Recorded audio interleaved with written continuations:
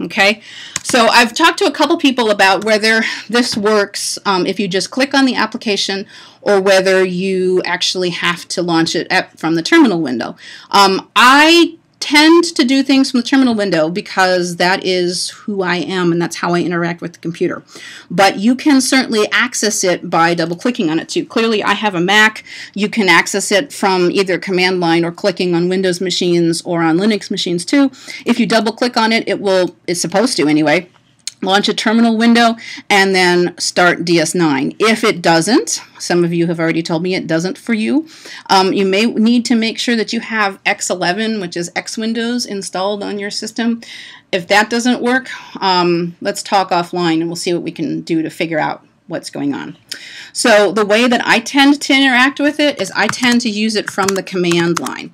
And when I do that, I can tell it um, DS9 and then I pass it the image file that I want to use. But for the moment, um, let me actually, because um, when, I, when I, I have it set up to do something special. So let me make sure that it's going to do exactly what it will do for you when you start it. Oh, great. Okay. Uh, Okay, we're going to start another window because I just screwed myself up there.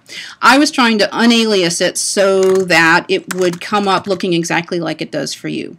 But it's not going to work that way. Okay, so DS9, it comes up like this. Um, and you have a couple of different menus here. You have menus across the top, which if you click on them, you'll have you can you get pull down menus, which have lots and lots of lots of options. The most common options are going to be here in this menu bar here, and it comes up by default with file clicked because it's assuming that you're going to want to open a file. But there's lots of other choices, and when you click on the thing in the top row, the bottom row changes to give you the most common options under each of those menus. So let's go ahead and get something. So if I open a file, I have one already that I pre-loaded, uh, pre-selected here. And you can see that it's loaded it in pretty quickly. It's a fairly large image. Here it's giving me the large scale view of the entire image and then the cyan box here is just what I'm seeing in the screen. So I can drag this and the view down here in the big screen changes. For me, it's come up with a default stretch because that's what I was trying to do by unaliasing it, which broke a second ago. So um, if it may come up with a pretty ratty stretch. So the first thing that you might want to do is change the scale. So if you click on the scale menu, you can choose lots of choices. There's Z-scale, which is the best stretch in terms of getting a quick look at the data, but there's lots and lots of other choices that you can use to change exactly what it's doing. Um, you can do, it comes up by default linear Z-scale, but you can also do log Z-scale and all sorts of choices. Um, you can also zoom in or out in order to make it to see more of the image. You can tell it zoom to fit, just make it fit whatever it, it needs to be. Um, you can also choose from the predefined collection of zoom options here. Um, if you want, if you don't like grayscale, you can choose all sorts of garish color schemes under the color menu. Um, you can do, you can, you can you know, make it look as hideous as you want or draw out details in whatever form you need. Um, you can also change the contrast. So the quickest and dirtiest and easiest way to do that is to use, if you have a three button mouse, the rightmost mouse button. On a Mac, you need to hold down the control and the command keys and then click and then you can change you can change the contrast by moving the mouse down. You see the rainbow at the bottom is over a smaller and smaller area. If I move it up, it's over a wider and wider area. And then if I move it left or right, the center of that scale moves left and right. And this is showing you this is mapping that tremendous depth of data that we have in here, the the the 16 bits deep image here into these colors and I can change the contrast you know, let's say that I'm interested in the texture in the outermost most part of this nebula. Well, I can move all of my color range to the outer part of the nebula. If I'm interested instead in the very brightest parts, I can move my whole color range just to the brightest parts. So you can do all sorts of really complex manipulations here. Um, and if you don't like what it did, you can always get it out, get out of it and get back into it and it'll come back up with a default color scale so it undoes whatever um, complicated color rescaling you may have done. Um, up here at the top, it tells you the file name. Uh, if there's an object in the FITS header, in this case, it's not. There's not a viable object. It will tell you. Um, and then as I move the cursor around on the image, it tells me at the top what the value is of that pixel underneath my cursor, as well as the right ascension and declination. It's also giving me the physical x and y pixel coordinates. So remember I was talking earlier about how it's doing that transformation for you. It is taking those x and y pixel coordinates and translating them into right ascension and declination. And so it is, that's exactly what it's doing. That's exactly what it's telling you on the top. So that, for example, if you're on my team and I tell you go investigate the properties of a source at a particular right ascension and declination, you can move your cursor around until you find that object, um, and then uh, you know then you can uh, understand it. You can investigate its properties or do whatever else you need to do with it. Um, if you want to get into, if you want to have some additional options up at the top here. So let's say, for example, you've tried um, a a color scale and you kind of like what it does in the outer reaches of a nebula, but you want to see what it does and you want to fix the scale in the bright regions. If you go up to the scale menu, you see those are all the same options you have in the menus over here. But then you have lots of additional choices here where you can tell it, you know, I really only want you to use 97% of the data. Or if I go to all the way down to the bottom, there's scale parameters, and that's actually giving you a histogram of the distribution of brightnesses in this image. And you can dynamically say, I just want to look at the brighter end, or move that back and say, I just want to look at the fainter end. And you can see the image is changing um, depending on what I'm asking it to do. Um, you can change the, you can, you know, you can change all of the uh, wide variety of um, options here. So you can spend quite a bit of time diddling the image to get it exactly the way that you want it. Um, let's see, what else can I tell you about the basic stuff here? Um, if you want to actually see what the FITS header looks like, under the File menu, you can say Display FITS Header, and there it is. It's telling, these are the basic information that all FITS files have, which is telling it, okay, it's a two-dimensional image, um, and it's 16 bits deep, and this is how big it is in pixels. And then the rest of this stuff is all telling it, um, telling you where this image has come from. It's come from a UK Schmidt um, photographic plate POS survey. It was the 3AF emulsion. So it's giving you lots of useful things here. And then the rest of this stuff is all having to do with astrometry. In other words, that translation between right ascension, declination, and pixels, and exactly where the image was obtained. Um, so lots of good information in the header, and sometimes it's useful to be able to access that. Um, if you want to uh, say, for example, if you have an image um, that you're not sure which direction is north, you can go to um, Frame, Match, Frame, WCS. I'm going to let that linger for a second, so it's because it's three submenus deep it'll it turns out this image was basically already north up so you probably didn't even see it tweak but it's it's basically north up. We'll use that a lot more in the next few minutes. If you find that you're using um, a lot one of these submenus a lot this dashed line here means that you can rip it off and it will spawn its own window so that you can have it sort of chronically available to you as another window next to your window so you can use it when you need to. Um, let's see, you can overlay coordinates. WCS is the World Coordinate System. So right now it's giving us coordinates in J2000. Maybe I want to read out coordinates in 1950, or maybe you want to read out galactic coordinates. Let's try galactic coordinates. So you can see the image rotated, and you can see up at the top it's actually giving me coordinates in galactic coordinates rather than right, right ascension and declination. So let's put it back in J2000. Let's say I want de decimal degrees rather than um, sexagesimal you know, hours, minutes, and seconds. There we go. That's decimal degrees. So lots of, of coordinate transformation, which in practice can turn out to be extremely useful when you're actually trying to find sources in the image.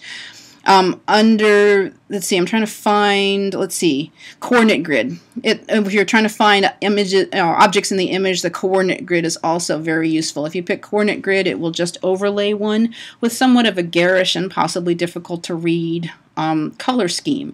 So if you go back up to the analysis menu and choose coordinate grid parameters, you can change everything it's doing. Color, for the grid, look for the axes, axes numbers. I hate that sort of neon green. Let's make them black. apply, and now they're black. So you have lots and lots of flexibility in what you can overlay. You just need to get into some of these submenus and start mucking about with it. Um, I did uh, because this is powerful and because you you guys have access to a lot of different FITS images, I did want to show you what it does if it can't find astrometry in your image. Because if you're using data from a, from a relatively small telescope, it might not have the WCS attached.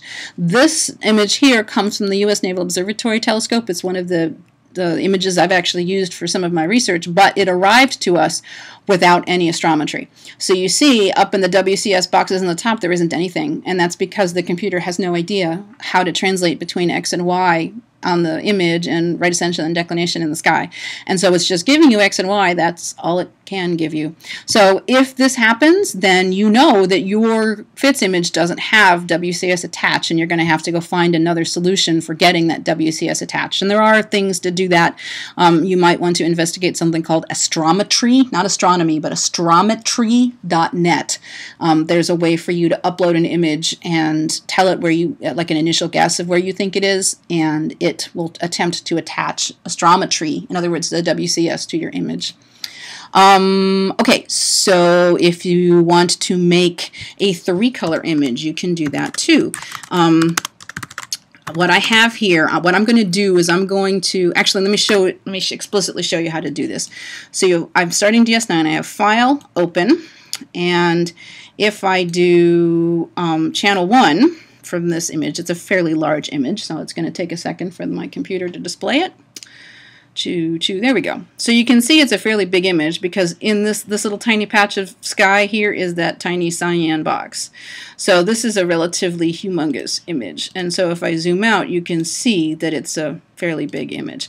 Um, and this is, of course, just grayscale. But what happens if I want to make a three-color image? What if I want to actually pick different wavelengths for different bands and see if I can learn something more about the astrophysics that's going on in this region? So if I go over to File, sorry, Frame, for the frame menu, I can ask for a new frame, which is also going to be a new, in, in essence, grayscale image, or I can ask for new RGB, meaning red, green, and blue. So if I click on New RGB, it's going to give me a new frame here, and it's going to give me this pop-up window that has red, green, and blue layers in it. So now I can see that the dot, that the radio button here is, is clicked for red. So I go back over here and do File, Open, and I'm going to pick the image I want for the red frame. Um, typically, that one you need it to be the longest wavelength. It doesn't have to be, but traditionally it's the longest wavelength. And mine's going to come up by default with a um, Z-scale stretch. Now I'm going to go over here and pick green and then go back to File Open and pick my next wavelength and then blue open and then pick my last wavelength. So you can see that it's now stacked up the images. Um, they, it's aligned them all with right ascension and declination and things that appear in all all three of those bands look white. But you can see I've got some pink stuff in the background, and some of those stars look awfully blue. So maybe I want to change the scale for one of the frames. Let's go pick red again, and then pick scale, and then pick a different scale. It's going to think about it and change the scale. So if I do that, now the stars look white, which is closer to what, let's say, I want to portray in the image that I'm generating. And you can see there's a lot of nebulosity there at the longest wavelength that I picked, except for in this region here. Um, if I hold down Option and click anywhere in the image, that is moved to the center of the image. And I can zoom in and I can see, oh look, there is a nursery of about 400 baby stars in there. So lots and lots of interesting choices you can make. You can scale images differently. You can also choose images of different spatial resolution that when you stack them up in an RGB image is going to tell you something about what is bright at the various levels, at the various bands. So if I'm going to leave the red one clicked, go over here and file open and then picked, pick a 24 micron image, a long wavelength image. It's going to come up with the um, same scale that I had picked before. So let me um, get it. Come on. There we go. That's a better scale. So now um, the, the overall tone of the image is different, and you can see in the regions where I have only one band of data, that one band is blue from that plane, that one band is green from that plane, and that band is, is red from that plane. But if we zoom in on some of these regions, you can see things that are bright in some bands but not others. And that, that particular case, that turns out to be an image artifact. That turns out to be scattered light. But you can also um, investigate other properties. Like here, we have a bunch of red ringed objects. And that's because those objects are very, very bright in the red band. You can see that up here in the right, there's a zoom in on where my cursor is in the upper right, and you can see that the core of that object is white because it's got flux from R, G, and B planes, but then there's this red circle kind of around it, and that's because the, the red band, the image I chose to put in for the red band, is poorer spatial resolution, so each individual point source is larger in the red band than it is in the other bands. But the things that are very bright at 24 microns in that red band are going to show up and going to be really obvious, even if you look just at this image and you can see that there's red rimmed objects all over the place. And those, it turns out, are some of the most embedded baby stars in this region because they're very bright at 24 microns. So you can do a lot of interesting things, not just combining objects of, or images of similar resolution, but you can combine you know, images of different resolution to, to learn different things about the image. So let's say that we have here um, the Im an image that we really like. We, we found the scale, we found the color scheme that we really like. If you go up here and you can do save image, you, it'll try to save the frame as fits if you really want. Um, of course, we already have it as fits. You can save the image and it will come up and ask you, do you want to save it as a GIF or a JPEG? Probably not, but let's try this for illustrative purposes. Let's save it as a GIF. We can put it in that directory. Um, that's fine. Interesting. Um, maybe we can't do that. Save image as JPEG. Yes. Okay, so it's going to think about it. Okay, so they've actually, it used to be the case that what I was trying to demonstrate was that you can save, you'll end up saving just a chunk of the image and not the whole thing. But they've actually inserted better error trapping since the last time I tried this. And so it's actually telling you the entire image window needs to be visible on the screen. So what I was trying to demonstrate and failing is that it used to be the case that it would save just what you're looking at. But in this case, they've actually told you Okay, that it's not going to do that. So let's have the entire image window available on the screen. Save image. Let's save it. You can save it as a TIFF 24-bit or PNG 24-bit. That's what you want because remember GIFs and JPEGs are 8 bits deep and so you're going to lose some of the, the texture in that nebulosity. Let's see if we can actually demonstrate that if it will let me. Sigh. Zoom to fit. JPEG. Okay, maybe not. Okay, um, we'll try that again later. Let's see if we can save it as a PNG. We can save it at all. Fascinating. Okay, in theory, um, I certainly on my other computer, I, you can save the image that you've they spent so much time diddling the colors to get it exactly right. You can save it. I recommend again that you save it as a, at least a 24-bit, so PNG or TIFF, not a GIF or a JPEG. I don't know why it's not working for me right this second, probably because I'm actually doing a demo. Okay,